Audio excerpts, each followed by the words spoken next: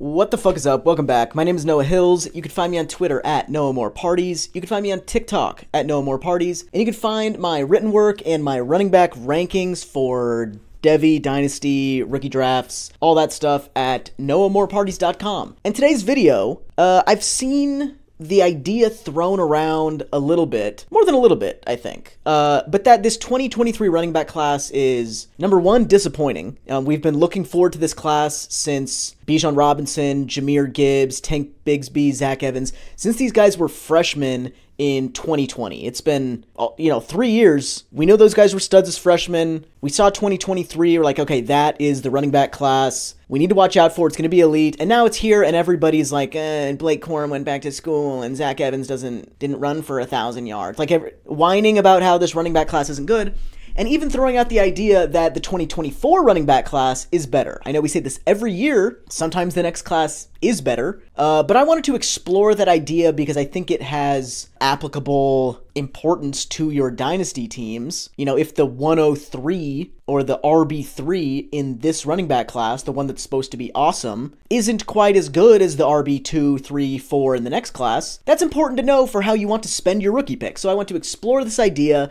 that the 2024 rookie running back class is better than 2023. Let's do it.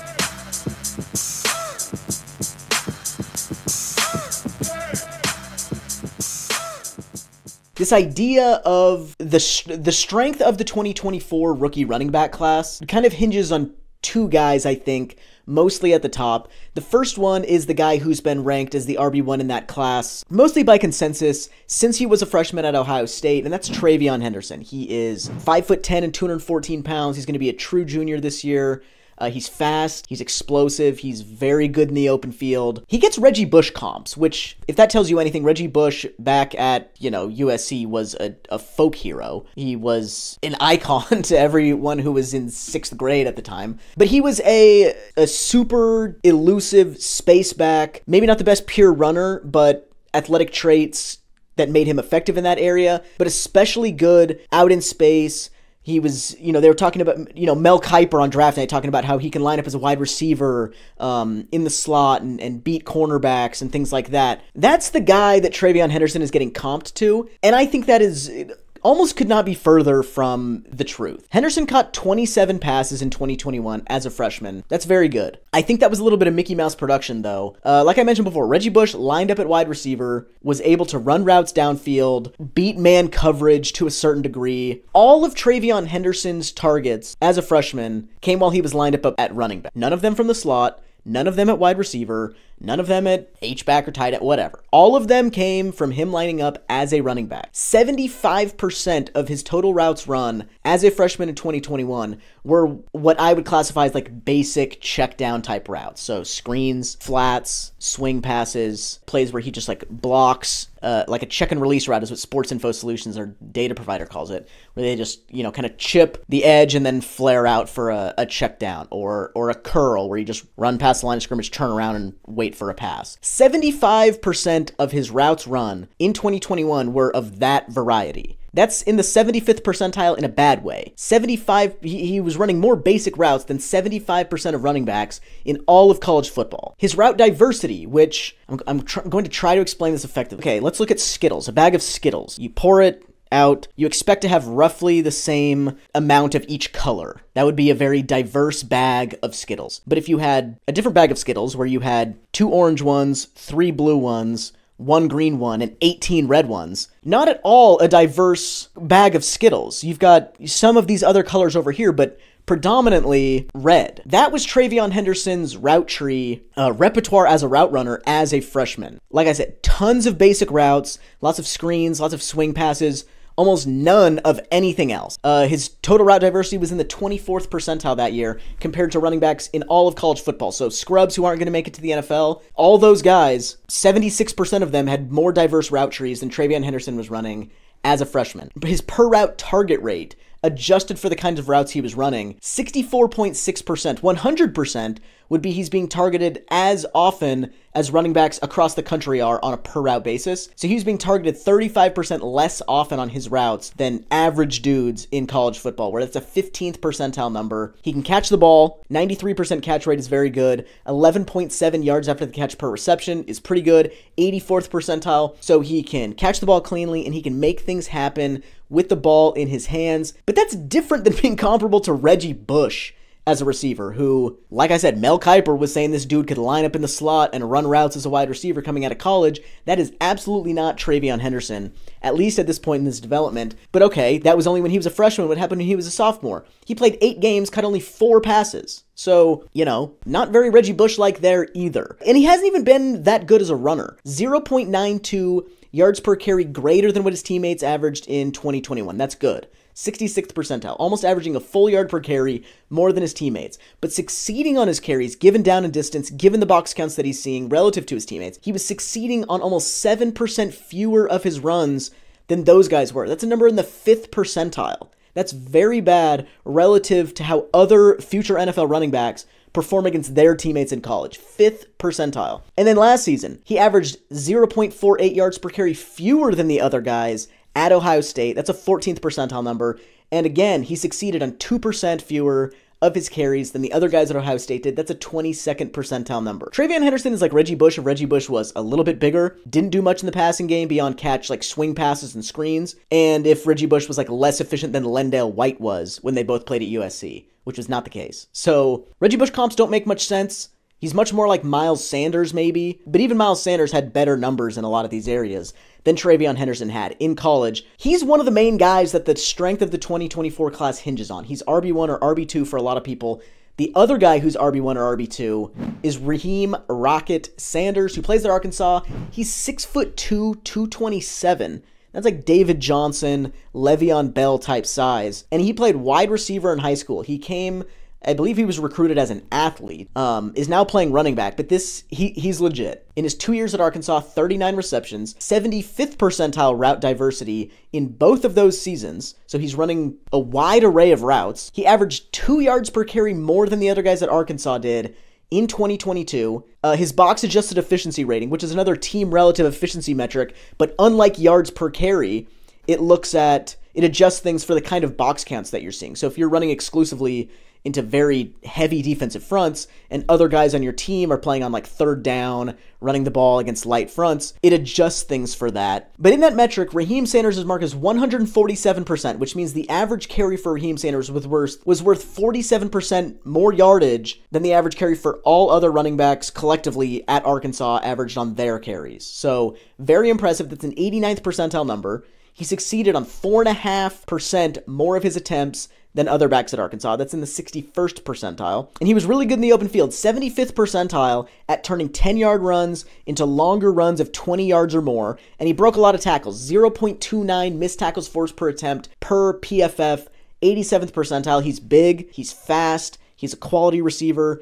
He's been more efficient on the ground than his teammates have been. He's been more consistent on the ground than his teammates have been. He's a good tackle breaker. He's good in the open field. Raheem Sanders is a blue chip, all purpose, full skill set running back prospect in the same mold as guys like Le'Veon Bell, Breece Hall, same type of. He's, he's in the same archetype that Bijan Robinson's in. I'm not saying he's as good as Bijan or as good as Breece Hall. I'm not, I'm not saying any of that. I'm not necessarily not saying that. But that's not what I'm saying. This isn't a, a comment about the quality of Raheem Sanders. It's about the type of prospect that he is, and he checks all those boxes in the same way that David Johnson, Le'Veon Bell, uh, you know, Bijan. He's that kind of prospect, is what I'm saying. He would probably be RB2 in the 2023 running back class. So there we go. We got Raheem Sanders at the top. We got TreVeyon Henderson, who a lot of other people have at the top. One thing I've noticed about the 2023 class is that everybody likes Bijan. Most people like Gibbs.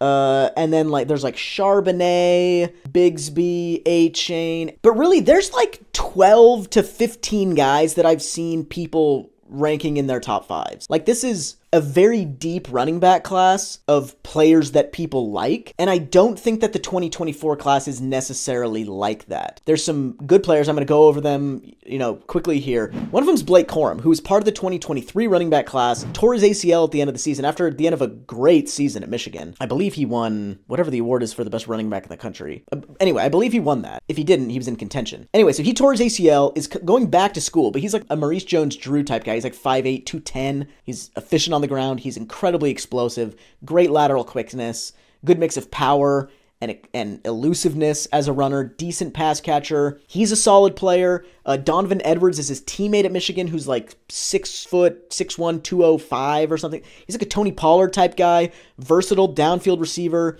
explosive, but like maybe not quite as refined as a runner. Uh, there's Braylon Allen at Wisconsin, who's six foot two, 235 pounds. He's still only like 19 years old. He's a runway runner. He's got to get up to speed, but once he's up to speed, he's tough to tackle. And some of his receiving numbers were kind of nice this last year. Maybe he's got some untapped AJ Dillon type upside in the receiving game. Then we got guys like Will Shipley who I don't really have a good grasp on him stylistically yet, but he's been efficient in both of his years, uh, solid receiver in both of his years. He's 5'11, 205. He could probably get up to like 210 by the time the combine rolls around. He's supposed to be a freak athlete. You know, he's a solid player. Devin Neal at Kansas, great pure runner, 150% box adjusted efficiency rating, 6% relative success rate. Not much of a receiver, but 5'11, 210. Uh, per campus2canton.com's uh, player athleticism comparison tool, he's got 99th percentile burst. He's also playing baseball for Kansas. I don't know how good of a prospect he is there, so I don't know. That could be something to keep an eye out for. But then we also got Marshawn Lloyd, who is a returning senior, just like Blake Corum, but 5'9, 212, uh, 164% box adjusted efficiency rating, just ridiculous. 12% relative success rate, just ridiculous. 89th percentile route diversity, 68th percentile per route target rate, good in the passing game, efficient in the running game, rocked up body type, and now at USC with Lincoln Riley and Caleb Williams. Could be wheels up for Marshawn Lloyd. There's some interesting guys in this in the next year's class. Those are the main contenders, and if things break right, I think that could be another good running back class. It's not going to be quite as strong at the top as 2023. It's not going to be quite as deep as 2023, but it has a good mix of both. But I think a key point here the, the key points are TreVeyon Henderson is overrated, vastly overrated. The second point is that the 2024 class is currently at an advantage in the way that we're perceiving them because 2023 is here and has gone th- all of the players in the 2023 class have gone through the ups and downs of a college career. Blake Corum tore his ACL, would have been part of the 2023 class. He got hurt and is now in the 2024 class. Uh, Zach Evans had an up and down career with injuries and you know, ceding time to other quality running backs. Tank Bigsby had a couple down years efficiency wise. Uh, Sean Tucker just had a down year efficiency wise. There's all these different things that transpired just over the course of these guys playing out their careers that caused what looked like a flawless running back class a couple years ago now is here and it's good but disappointing relative to a lot of people's expectations. The same shit is going to happen to every running back class that comes after this. 2024 is not immune to Will Shipley tearing an ACL or Donovan Edwards uh, being really bad for some reason or TreVeyon Henderson losing his job completely to Miyan Williams and going back to school, you know, transferring. Random shit like that happens every year and we just don't see that for 2024 because the 2023 season hasn't happened yet. So it has that advantage. I still don't think think it's that strong at the top or with depth. Player for player 2023 is just better, more stocked with NFL contributors, higher end talent at the top. It's not as good as we expected back when these guys were freshmen, but still very strong. 2024 still has to withstand those sorts of things as well. Overall, uh, fade TreVeyon Henderson and fade the people who are telling you that 2023 is a disappointment and 2024 is better. Hold on to your rookie picks. Don't sell them for 2024s. Uh, and thank me later. It might take you three or four years to realize that this was the most on point video you've ever watched on any topic, but I expect that in that time you'll come back to the comment section and let me know how I did. But other than that, have a have a great day. I'll see you on uh, Wednesday. Yeah, peace.